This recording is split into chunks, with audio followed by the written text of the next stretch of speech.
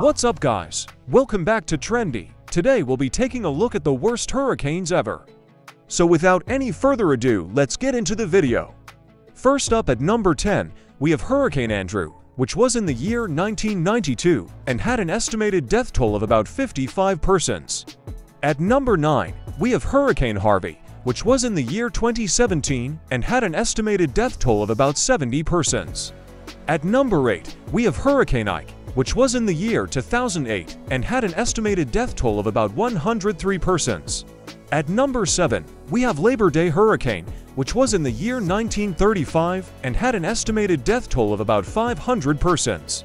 At number 6, we have Hurricane Katrina, which was in the year 2005 and had an estimated death toll of about 1,000 to 100 persons. At number 5, we have Galveston Hurricane, which was in the year 1900 and had an estimated death toll of about 12,000 persons. At number 4, we have the Great Hurricane, which was in the year 1780 and had an estimated death toll of about 20,000 persons.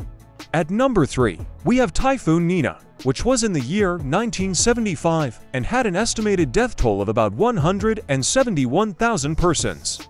At number 2, we have the Haiphong Typhoon, which was in the year 1881 and had an estimated death toll of about 300,000 persons.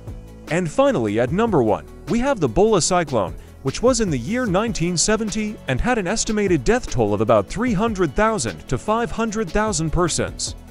Thanks for watching. Hope you enjoyed. And don't forget to like, share, comment, and subscribe for more.